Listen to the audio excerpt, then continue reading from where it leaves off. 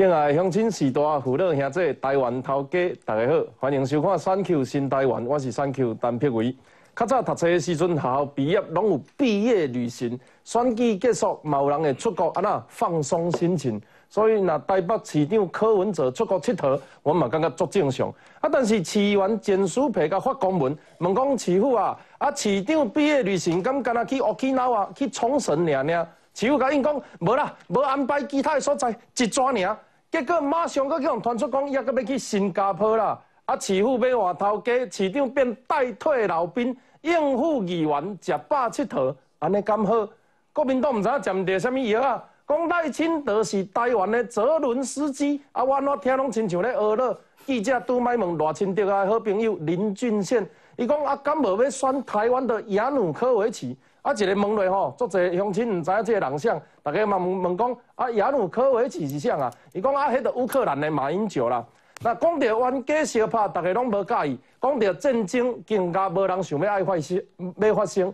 但是若歹厝边伫隔壁，你要选一个毋惊艰苦的，还是选一个拍来就投降的，应该毋是太困难的选择。二零二四年总统选举剩一冬的时间。各种风声四起，有人讲赖清德配小米琴，有人讲傅昆萁爱东来告别蓝皮绿骨，啊，其实就是咧呛侯友谊。有人拜托郭台铭爱出来选总统，连不甘寂寞的赵少康，有那跳出来发表着总统政见。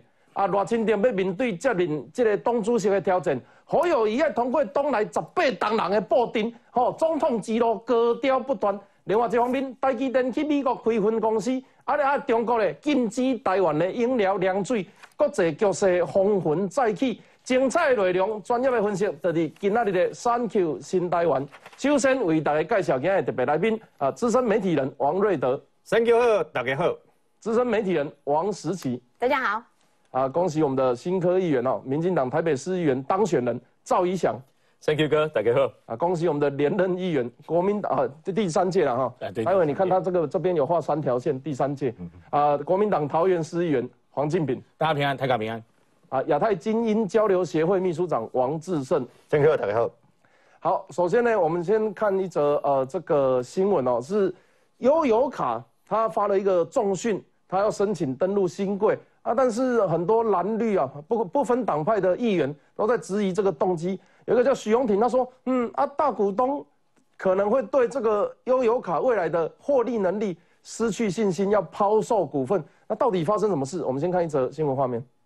悠游卡公司重讯公告，董事会通过送件申请登录新贵，最快年底就会送件。但赶在柯文哲卸任前，动机引发蓝绿质疑。赶在蒋万安上任前，柯文哲想要留政绩，但悠游卡公司申请新贵其实有利有弊。通过，功在柯文哲。”但如果申请没通过，过就在蒋万安哦，无疑就是挖了一个坑给蒋万安呐。这个悠卡公司在柯文哲手上业绩不够好吗？那如果今天是所谓的市场派哦，也就是非市府派的这样子的一个大股东，他们一起去做所谓的一个这样往新贵市场这样的一个决议。某种程度上可能表示大股东对公司的这个能力哦，跟他的信任度不够，有可能会借此抛售股票。毕竟柯文哲刚担任市长时，悠游卡公司最高净利达到二点六亿元，但到了今年六月时，却只剩下九百万元，引发批评。看下来，悠游卡公司申请新规，议员不开不应该不知道。公司治理有公司治理的程序，而不是一个市长可以做决定的。要准备上市会的也是因为，如果不往前规划，这未来对公司的竞争力好跟那个。呃，未来扩大规模的一些选项会有影响。面对外界质疑，社局蒋万安、前台北市副市长黄珊珊帮忙缓颊，但不止悠游卡申请新贵热议。十二月初，柯文哲才到冲绳考察，现在又要到新加坡二度避旅，IP 浪费公帑不可取。那最近这一一两年多了，虽然我们的秘书长跟对方透过视讯都有很多对话了。这次去新加坡是这样的，我们我们叫客随主便，就是说行程给对方安排嘛，因为时间很赶。毕竟，看看北市议员陈怡君上周才去韩市府要求调阅柯文哲卸任前出国行程计划，公文清楚写到，除了到日本冲绳，没有其他行程。而卸任前动作频频，也让外界质疑背后是否有政治动机。三立新闻刘安静、文文轩台北报道。去冲绳啊，那行销悠游卡，对，哦，啊来刷来登来简书皮，加加啊那加发一个文。问市政府说：“哎，那你们市长除了去冲绳，有没有要去其他的地方啊？”很明确的回复：“没有，没有，没有。”结果现在又一个新闻，柯文哲卸任前又出国，议员批说谎浪费公帑，市府才回复说要只去冲绳，结果现在又多了一个新国新加坡。那柯文哲又说行程一年前就搞定，那这样子到底是市府提供假资料，还是市长在说谎？瑞德哥，对，没错。那么事实上呢，简书培议员呐所提供的相关的这个呃，他其实一开始告诉各位，一多开西边门诶，并不是新加坡嘛，不是这里日本的行程，而是因为啊，我们也接到有个相关的这个等于说呃线报啊。那么柯文哲可能因为为了圆他二零二四年的总统梦，可能想被 K B 搞，而且呢，会不会是用公帑去美国啊？结果简淑培当时一问的结果呢，竟然是这个等于说啊，去日本 Okinawa 冲绳了哈，理由是推销观光跟包括招商啦。我都唔知啊，阿里亚被招商是不是应该招去东京？东京所有日本上好嘅大财阀拢在东京嘛，啊，你要观光，东京人上多啊，几啊千万，那应该嘛去东京个对，那走去 Okinawa。那么结果呢？没想到，那么当时说哈，柯文哲说是因为啊，要宣导，那你又有卡咧，呃，Okinawa 冲绳买赛赢，啊，笑死人，你是逻辑错乱，精神错乱就。咱你的意思是讲摕咱的优卡咧，那个冲绳的赛赢，你唔得咧台北，在台北宣传。你来召集这个申公啊，那个冲绳船团。好，那既然你去了冲绳三天两夜回来了以后，那么事实上简书培又问，又直接询问秘书处还有没有其他的行程。我跟你讲，我建议简书培直接就这个行文到直接向这个台北地检署检举，下面呢伪造文书，为下面呢你的回函是没有。你的回函是没有，而柯文哲说，经过一年多啊密集的往来，什么客水主编，我们攻击到对点吧哈。那么你意图啊，那用不实的这个言论呢，不实的文字呢，那么登载在这上面来欺骗这个市议员呐。所以呢，我建议简书培直接向台北地检署啊，直接提出检举啊，伪造文书的检举啦，让他们去查到底怎么回事。因为你用的急，传播东西人民的血汗钱，为什么呢？因为如果按照这个道理，你忘了我刚刚说。一开始是为了问许梅被逼搞嘛，那他会不会新加坡回来？还是新加坡咻了就往美国去？嗯，是不可能啊！柯文哲这个人有一个、那个、有个特点呐，钓鱼归自己口袋提钱出来，对不？千难万难，但是叫他他自己花公家的钱，花台北市你我的这个血汗钱呐，他是甘之如饴啊！也可以开起来公民车，你马上往那个公费出，不是吗？你上面代起那么江郎班级班级不是吗？都全部都要公费出嘛。所以呢，那么到底他说的是真的，从这个是真的是假的？还有从这件事，那个我注意到他说啊，那么卓冠廷公益给你告去告高鸿安去敲人事哦，吵架干什么？他很生气，说要告卓冠廷嘛。对。可很奇怪，视察猫说他去琉球下飞机的时候，然后呢去占了这个呃这个接驳车不 VIP 五吧哈，跟降降接驳说阿行赶紧再造嘛。伊竟然无要告视察猫呢？伊讲伊都来看到了，伊就去理有无哈？啊，车就再造。伊竟然如果视察猫是造假，那你就告，你不用柯文哲不用说，还还要去募款什么律师费？笑死人，你也不是无钱啊！你市市长一个月十几万呢，对不？所以呢，拜托一下，啊，拜托一下，直接告告视察猫。为什么？告就可以知道真相是怎么样。那柯文哲是一个很假惺惺要塑造那种他很亲民的人，为什么？坐联航啦，坐经济舱啦，有无哈？啊，拢讲伊要坐经济舱，不要坐商务舱啦。可很奇怪，伊拢会开给坐迄位咧舱门边啊，两只脚会使安尼害来害去，迄位，迄位是经济舱里面商务舱。啊奇怪，啊十二点拢讲十二个对无吼？拢讲你可能坐使坐位，咱若要坐位要另外另外纳钱呢，你知无？给八百块。系啊，你也给你也家己另外纳钱呢。啊，为什么你柯文哲拢使坐迄位？因为怎样？真简单，你叫他柯文哲嘛，表面上讲坐经济舱啊，永远啊无你嘛让人让了伊工作人员坐好不好？让基层坐好不好？你去坐后壁，安尼好不好？柯文哲永远都是这种人啊，没见人的班级，然后呢，花了说要省钱，所以呢。台北市这六十五岁以上的这红星时代对吧？哈，那个区区一千块，同样进脑筋给剁掉。结果嘞，结果伊家己开了九亿去办一个毫无任何功用的城市博览会嘛，要做伊的成绩单嘛，伊就是这款人嘛。因老母啦，刚刚唔得咧骂讲啊，恁家名嘴拢咧电视骂，不是不是不是。啊，柯妈妈，阮无咧骂，阮只是甲恁后生做的代志一件一件讲出来安尼尔。所以今麦要仔仔细看。新加坡回来，距离他十二月二十五号如果哈？春波归刚会不会借这个机会又胡起来又到美国去，然后又花人民的血汗钱跟公帑啊？柯文哲这关人啊，在卸任之前，一所讲的，他的所有的代志对吧？哈，千万拢未使相信。柯文哲的那个摄影志工好像也是他们党的立委助理嘛？哎，你讲那是追星。还是咧自工家己有有兴趣去追星，所以不用钱哦，所以不用钱呢。哎，我我不讲啊，伊讲那是追星啊，哎 呀，你老别讲，伊讲伊要，伊不是要甲你搞，伊要先募款，募律师会开来跟你搞。世界有这个代志哦？没有啦，我只是说他很会用自工啊，他的自工有别人帮他出钱嘛。呃，哎，柯文哲在这个即将卸任之后，其实大家对他选总统的野心这个毋庸置疑，但是选总统跟选地方首长最大的差别。就是国际关系跟呃外交关系、两岸立场，所以呢，呃，大家都会去猜测他啊，你会不会去找中国的谁啊？会不会找美国的谁啊？所以才会有这一次他出访的时候，议员简书培他就行文到市政府，哎，真的哦，这个是市政府的回文。刚瑞德哥有讲，他说啊，这个是呃承办单位是国际事务组，好，那简书培议员发文，他说除本案外，本府各局处目前。暂无市长国外出访相关规划。我如果我的理解能力没有错的话，意思就是不会再出国了。这个是冲绳的时候，结果马上又有新加坡了。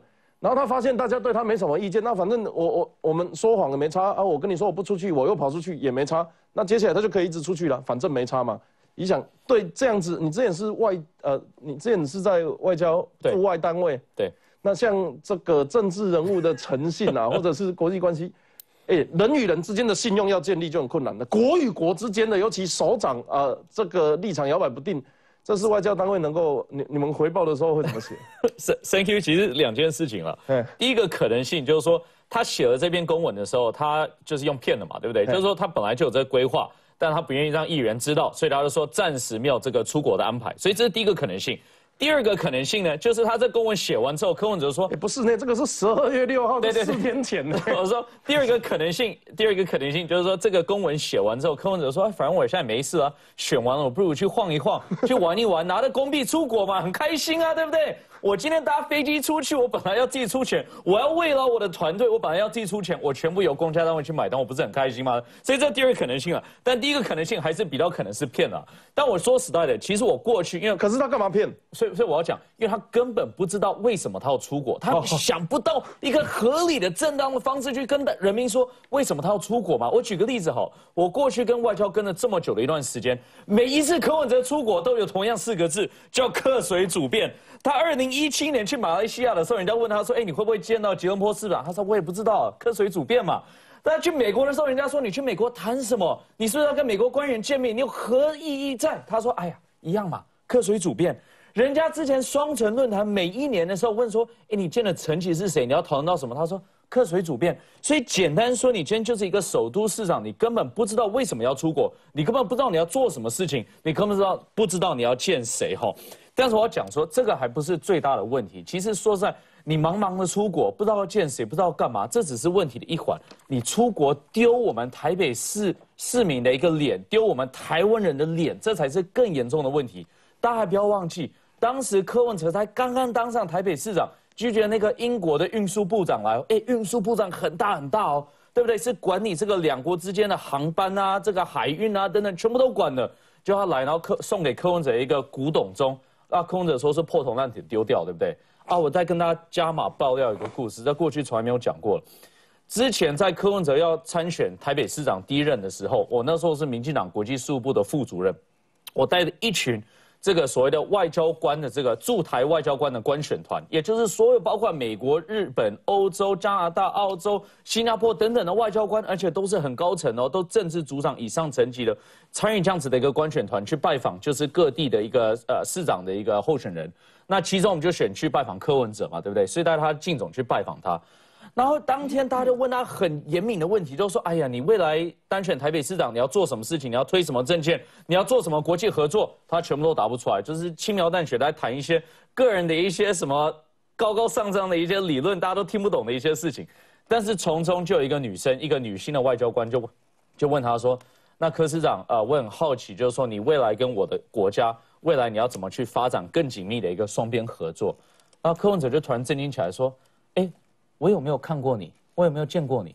然后这女性外交官说：“哎，对不起，我们第一次见面。”然后柯文哲就突然那色眯眯说：“哦啊，可是你长这么漂亮，我通常漂亮的女生我都会记得呢，怎么会没有见过你？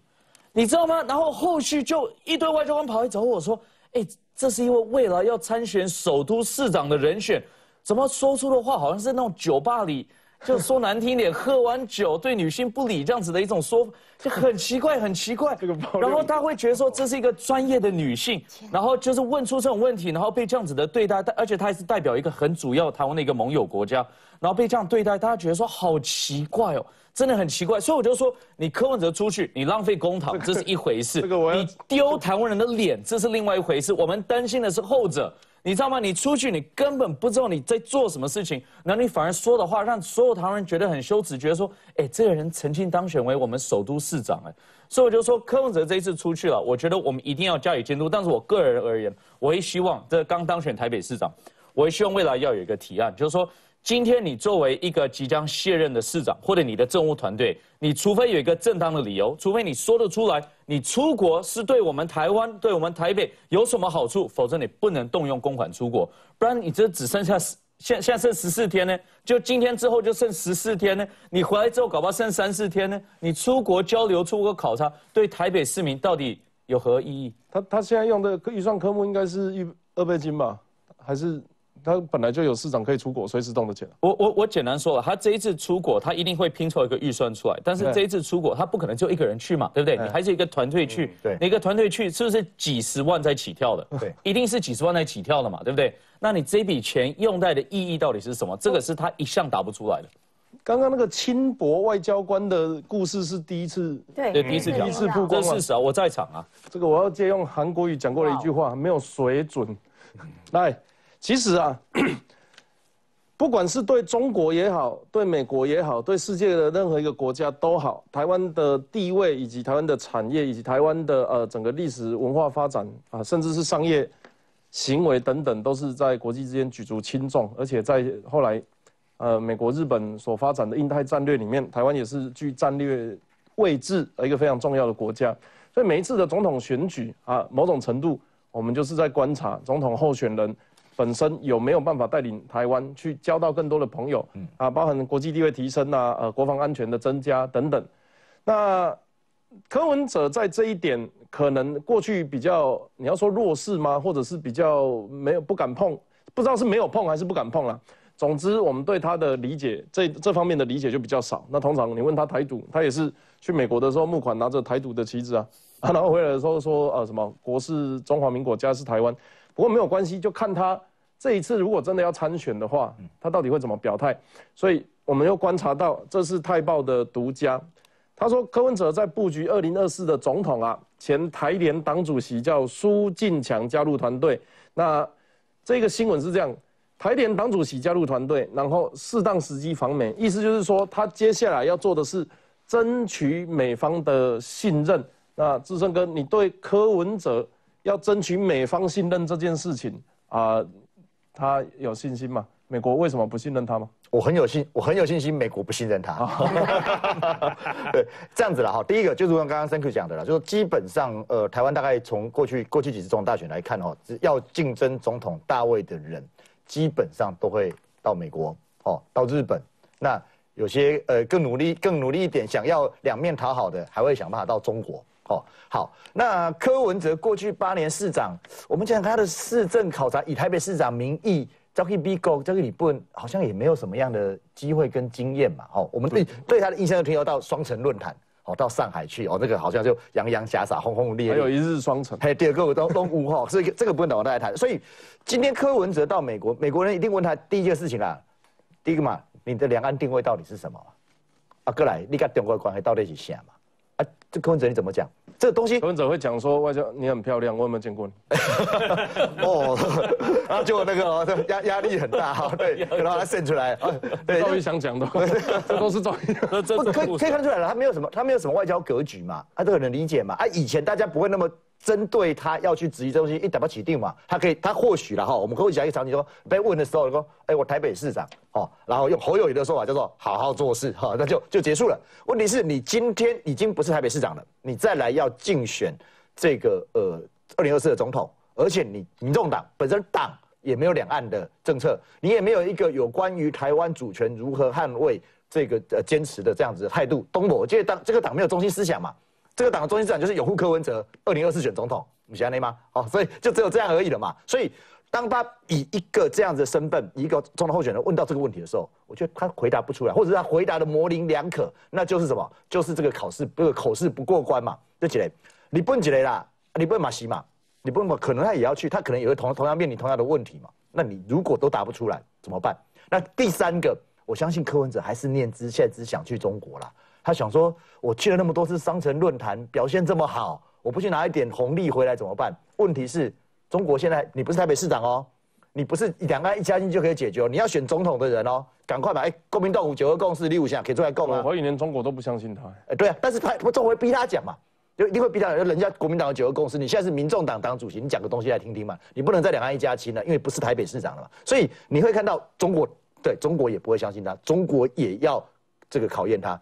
每日更是用放大镜在检视你现在这个可能要参选二零四。我们上次聊那个江泽民离开的那个报纸头条里面就没有没有他没有他，哎，阿德米卡的侯友谊没有柯文哲，对，所以就新北市长没有台北没有台北市长，没有即将卸任的台北市长没有哦，所以这一系列排开来，我觉得。柯文哲未来走出去国际哦，会处处碰壁啊！哎，这也难怪我们能理解，因为以后要处处碰壁，不然趁不如趁现在还是台北市长出去毕业旅行，他送进来啊！伯利就可以 以后民众党当主席，人家就不是给他这个脸色看了。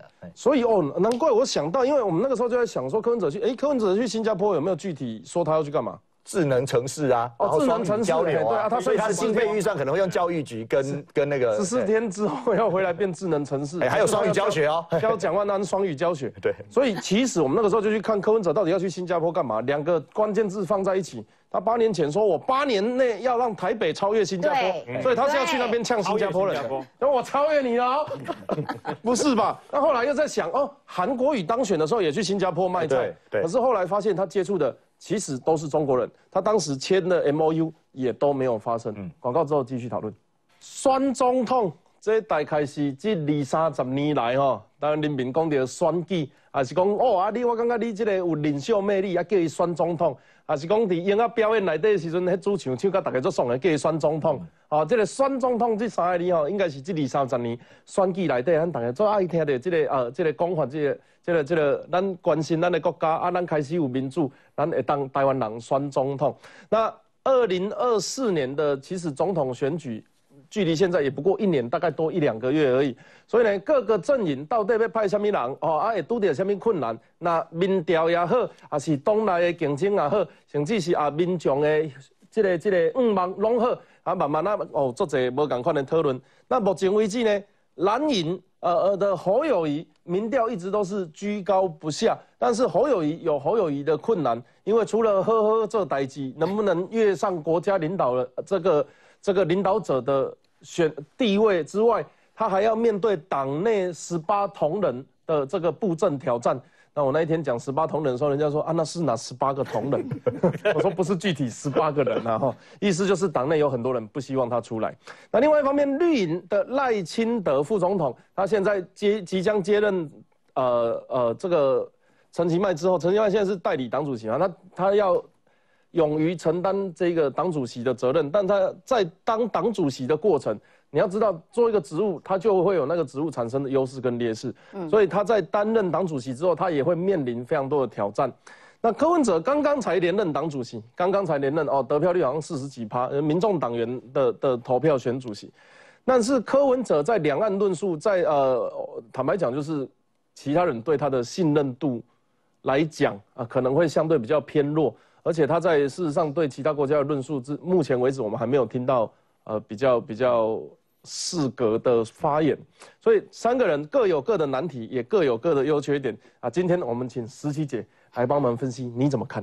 刚刚讲到柯文哲哦，你想讲到那个例子，我我我听着真的是下巴快要掉下来，就是说 没有水准，怎么会有一个作为首都市长的人，他的言辞这么的粗鄙无礼啦。就是说你你你你其实可以跟人家好好的交流，可是你竟然挑起了性别这样子的议题，然后来吃人家豆腐，展现你觉得自己这种男性沙文主义的幽默啊！我调侃你两句，吃你一下豆腐，我觉得丢脸，就真的是是丢脸，而且显示这个人的粗俗无礼。好，那其实要选总统，因为他民众党有一张门票，所以他自己也要选。好啦，那可是选总统这件事情，除了你的人格上面的培养，这个你个人的修养、修为之外，你的政治历练这些也会是你的被评分的项目。最重要、最重要的，其实就是你的路线、价值和信仰。那如果是柯文哲的话，他的路线、价值和信仰早就已经被抛弃了嘛，因为他可以一下像跳蚤一样，一下跳这边，一下跳那边嘛。那这也是他为什么没有办法取信于这个国际社会的原因。为什么美国人对他不信任？为什么这个日本人大概也对他不是那么的信任？连中国恐恐怕也对他不是那么信任，因为他就像个跳蚤，他一下可以。可以是这个深墨绿，它一下子跳蚤，跳蚤不会变色啊。对，它一下子是墨绿，一下子又一家亲，然后一下子又等等等等的。不要侮辱它其实没有什么这个统一的路线和中心思想。有了，它有统一的路线。哦，有统一的路线，而不是一贯的贯穿它整个。政治上面的路线，比较像是唯我独尊的，就我觉得对的事情就去做，这个机会主义。比较我对，比较我行我素，我想干嘛就干嘛，就是只要不要浪费到我自己的钱荷包，这样子就 OK。我要我要卡你国家的油这件事情，他他其实做到还蛮彻底的。好，那侯友谊跟这个赖清德，另外这两位现在目前看起来呼声比较高的侯友谊，当然有他自己的问题啊。第一个，他省级不对啊，在国民党能不能出头是一个大问题啊。然后他每次要呃。这个呃不沾锅，什么事情都不沾党务的锅，所有国民党的包袱，我侯友谊绝对不要背。所以你四大公投的时候，哇，切割的干干净净了。所有党需要表态的时候，我侯友谊切割的干干净净，完全没有在跟这个党一起呼吸，一起共患难，一起共承担。所有的好处也是我侯友谊要拿。所以他用这样子的不沾锅的行为，能不能够获得？党的这个提名，我觉得他的确有十八铜人证，不但十八铜人证，还有各式各样的这个奇门遁甲，可能他都得要克服。能不能够通过这些关卡，最后才会才有可能是他的。再加上如果说要按照一个政治上面的历练哈，我觉得侯友谊其实还欠缺了一点点呢，就是他他从头到尾就担任过新北市吧，新北市的副市长跟新北市长，但是他有没有更多元一点的，譬如说中央级事务的历练？其实他是他是匮乏的。那你要问到他这些东西的时候，就我们把握当下，吼吼做代机。也就是说，你问不出个所以然。所以，当如果你要挑战的是一个国家元首的位置的时候，你这些东西你没有办法用吼吼做代机来搪塞过去，因为大家会想要知道你要怎么处理跟美国的关系，你能不能获得美国的信任，你跟中国的态度是如何等等的，就是这些东西他没有办法含糊以对。赖清德的挑战，我觉得他现在正开始面临挑战。他在副总统的位置上面其实没有什么失利点，那所以他现在愿意出来竞选民进党的党主席，就是正分负分。我透过党主席的这个历练，让大家看看我是不是有够这样子的资格。如果能够协调派系，然后达成一个漂亮的这个立委的提名的以及不分区的名单的话。我觉得对赖清德来说绝对是加分。那他的中心思想、他的路线，说这件事情不需要这个再多赘述，因为他的从政历练以来清清楚楚，而且他是政治资历最完整的，啊地方的、中央明代的等等的，全部都当过了。也就是说，他是经过一个完整培养出来成熟的政治人物。他有没有这个手腕，有没有这个能耐？我觉得现在正是他可以这个大展的。大展身手的一个时机啊！所以其实呃，三个可能的呃潜在总统候选人，大概目前都浮在台面。啊，可是面对党内挑战最大的侯友谊，会不会能不能够撑到明年呃被提名？这个我们拭目以待。那另外一方面呢，国民党费鸿泰啊立呃是立法委员呐哈，他说啊，赖清德选党魁后要直攻总统，那费鸿泰就说啊，你二零二四难道要选台湾的泽伦斯基吗？竞品，泽伦斯基是褒还是贬啊？他这样子讲，他是希望蓝营厌战的人来讨厌赖清德，还是你觉得他这样子讲有加分吗？那就看费鸿泰委员吼，他是用什么角度去，呃，夸奖泽伦斯基还是贬义泽伦斯基了？就看他的角度是对泽伦斯基他的看法，因为模棱两可了吧？本来就是啊，因为你看泽伦斯基带领的乌克兰去对抗俄罗斯，那打到现在到底是好还是坏？对乌克兰当然利弊互见嘛，但是因为又牵涉国家主权，所以我就说是看这个费鸿泰。他是怎么去看待泽伦斯基了？那他提这个一定是说，他不会，我相信他不会去特别讲泽伦斯基是很差、很糟糕，还是好或者不好，因为这个是等于是他把等于挖挖坑往这个自己往往坑里跳。但是他似乎是想要把这个战争的气息可能会笼罩带在这个引引引用在赖清德身上。没有没有，我我先还原一下他当时的回答哦。他说大家要思考，是要选一个台湾的泽伦斯基。还是要选一个能够带给台湾和平繁荣进步的总统，意思就是这两个事，这两件事情是对立的，他应该是贬义啦。那台湾的泽伦斯基是谁？他他说赖清德啊，他说赖清德是台湾的泽伦斯基。对对对对，我也不觉得他赖清德会不会变成台湾的泽伦斯基。我的意思说，是不是不好回答？我们可以晚一点再讲。不会，因为我觉得泽伦斯基在我看来他是蛮坚强的，因为躲过好几次的暗杀。我认为。赖清德有没有办法像泽伦斯基这样？因为这个没有办法得到验证，哦，除非台湾变成像乌克兰那样。如果你硬要这样形容的话，说啊，担担心的是台湾的泽伦斯基。刘老师他讲的话，对啊，你的工厂。所以我是说，我不知道这个费鸿泰他是用想，但是我很清楚的可以感觉得出来，他想要把这个战争的阴影套在这整件事情的逻辑上。对，所以我就说，他会不会说啊？你说他讲的台台湾的泽伦斯基是？赖清德，我觉得这反而让我觉得会抬举这个赖清德，太抬举了。我觉得啦，我个人觉得他会抬举赖清德。这个真的是平行宇宙。我们时间关系，我们广告一下，待会回来继续讨论。欢迎登来，Thank you 新台湾啊！这个费鸿泰说赖清德是台湾的泽伦斯基啊，可是，在世界上有一半的人喜欢泽伦斯基，因为他是国家民族伟大伟呃这个抗战英雄。另外一半的人呢，觉得泽伦斯基这个小牙签、这个钉子户怎么拔都拔不起来，那就是侵略者，也就是中国跟俄罗斯。好，我们请黄金平告诉我，那费永泰是包还是扁？我想他想批评赖清德，哦，但是他不会直接去批那个泽伦斯基，因为泽伦斯基毕竟他在国际有一定的地位。他在国际，不管你喜不喜欢他，他在这个国际有他的影响。我我我我觉得，我觉得其实 清明哥应该在还是在绕啊，因为在绕的原因，其实我可以理解啊。对你去批评自己党内的同志，我觉得很困难。但我其实简单画个结论就好了。其实你去看费鸿泰，他说辞非常清楚嘛。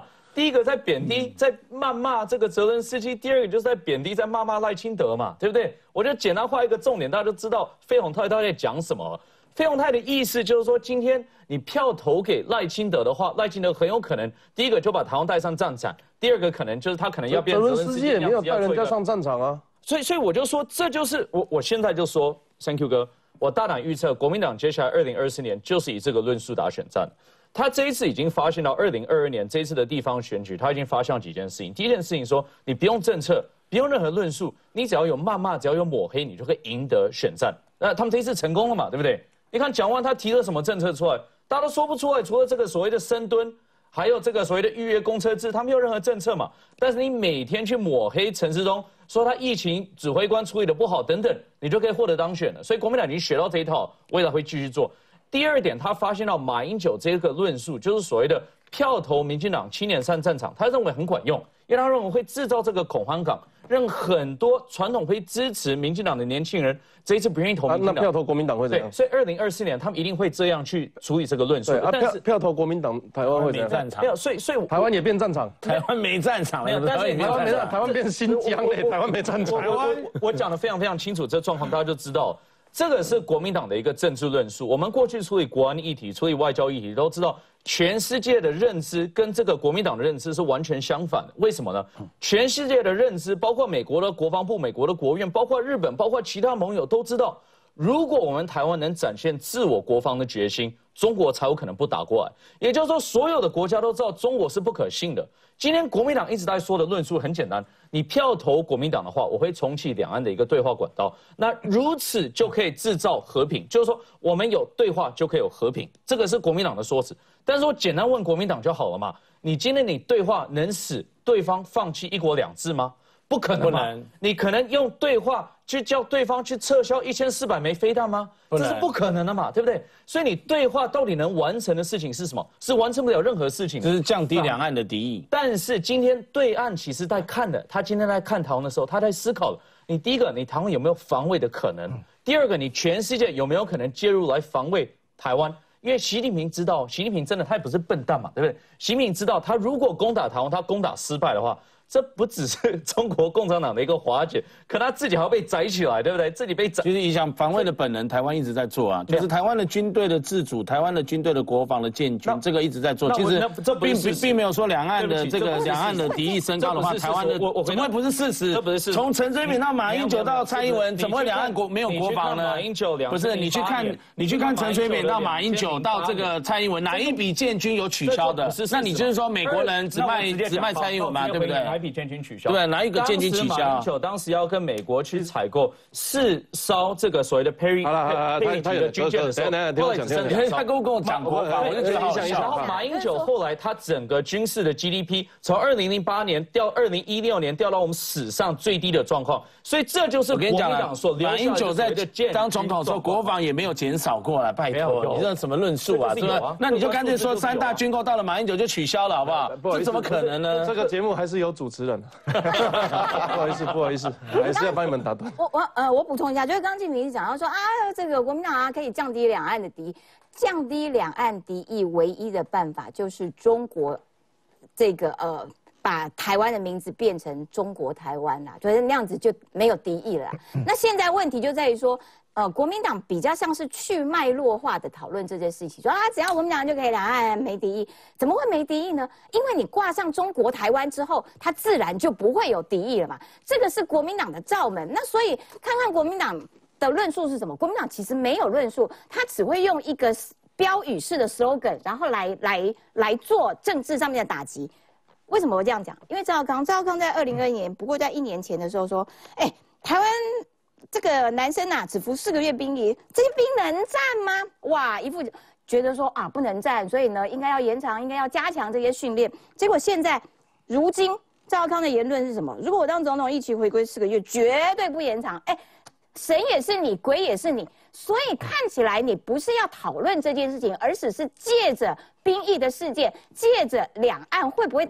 开战这件事情来做你国民党的政治操作，你不可以这样子去脉络化嘛？那所以我会觉得说，当这个国民党不断的扣帽子说啊，只要是投这个民进党的两岸就会上战场啊，票投国民党两岸就会怎样怎样。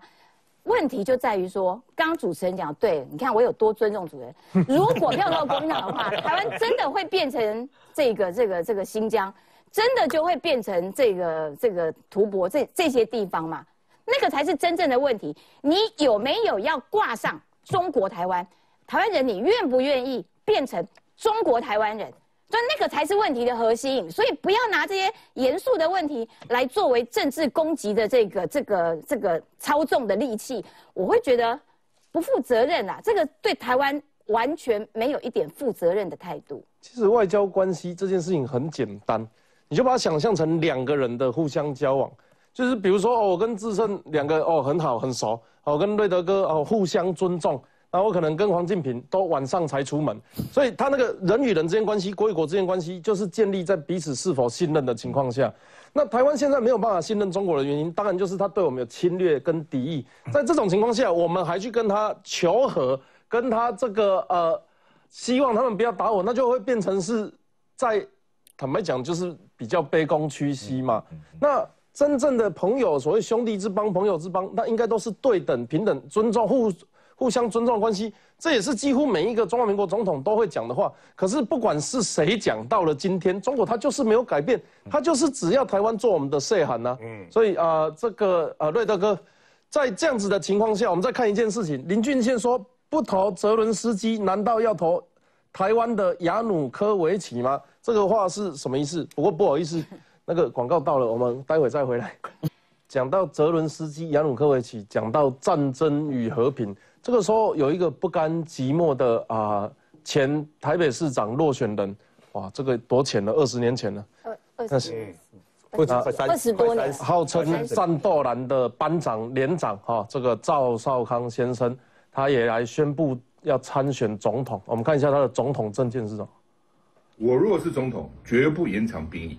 如果他们现在延长，如果将来我当总统，绝对把它恢复成原来的役期。赵少康大谈兵役制度，反呛国防部预化的一年兵役制度改革。你现在延长要干什么？其实真正应该做的是，现在的四个月好好训练，四个月训练其实可以训练得非常的精实啊。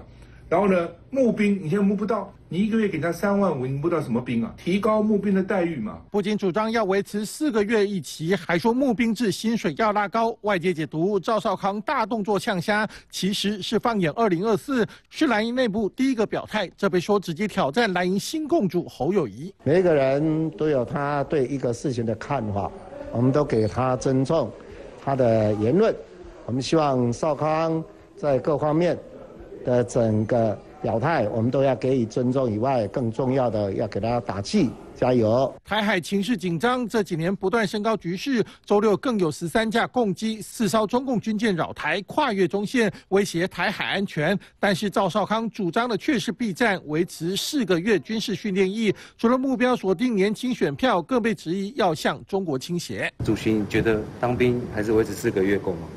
我想这个你去问赵少康董事长好不好？谢谢。好就连党主席朱立伦都不愿意赵少康起舞。国防部预估年底前公告新版兵役制度，此时赵少康抢蓝营话语权，放眼二零二四，毫不掩饰。三立新闻王家宏、陈彦豪台北报道。我想这个问题你要自己去问赵少康董事长。话题拉回来，呃，瑞德哥到底啊、台湾的亚努科维奇指的是谁？谁会出来？啊，又是什么意思？呃，事实上呢，我从来没有看过中国国民党的这个费鸿泰啊，这么肯定民进党的总统候选人，你知道吗？说这个呃赖清德呢是这个台湾的这个泽伦斯基啊，那如果这样的话，赖清德真的哈松啊暗下困别起，我外骗，哎呀，泽伦斯基是谁？泽伦斯基是一个演员，一个喜剧演员，但是就在美国总统都建议他离开乌克兰的这个情况之下，几乎要把乌克兰一半的国土送给俄罗斯的情况下，带领乌克兰竟然打了呃二十四号就满十个月了。竟然可以打十个月的战争，而且现在呢，竟然把俄罗斯推回到本来啊，这个等于入侵那个整整体的二月二十四号以前的这个土地上面，竟然可以这样干。这个人叫做民族英雄，欧盟刚好刚刚推选他为欧盟最有勇气跟胆识的英雄，叫泽伦斯基。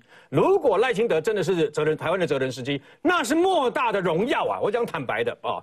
那么，可是问题就来了，那是亚努科维奇是谁啊？就是一个亲俄罗斯的家伙。我讲白了嘛，那很多人不认识，好吧？所以后来林俊宪用最简单的方式讲乌克兰的马英九啊，很多人就听得懂了嘛，对不对啊？那刚刚两位这个呃，一个民进党，一个国民党，两个人在争辩马英九怎么样了？我不知道怎么样，但是我是特种部队的，我告诉各位，马英九当总统的时候干了一件事，那么包括宪兵。包括他要把陆军海龙蛙兵，就是守外岛的那个海龙蛙兵啊，追归啊，对吧？哈，呃，有中共说是水鬼，我们说是蛙人，跟海军海军陆战队的两栖征收这个大队呢，要把它合并，把两种都是虽然都是这个等于说啊蛙人，但是它的属性完全不一样，我行就要把它合并合并在一起。当时包括宪兵跟这些所谓的特种部队都出来抗议，甚至于出来游行，你知道吗？后来马英九啊发现众怒难犯，才赶快说没有这回事啊，没有不不要这样干了嘛。他对军人是外行。那么他在当总统的时候，甚至于还避开汉光演习。然后呢，你知道到什么地步啊？不实弹演习的结果，竟然在真正的这个各式的演习里面放 CD，那个 CD 里面是枪跟枪炮的那个声音，两只流浪狗还走过去，那个画面终身难忘，终身难忘，国军之耻，你知道吗？这就是马英九当总统的时候干的好事啊！还有他的整个军费节节败退，我告诉各位。他经费越来越少，嗯，各位不相信的话，去找当年的所有的资料，都可以找出来，这都是当年真真实实经历过的事情嘛，不是我们在黑他、啊，你知道吗？稍等一下，我们三点片头之后回来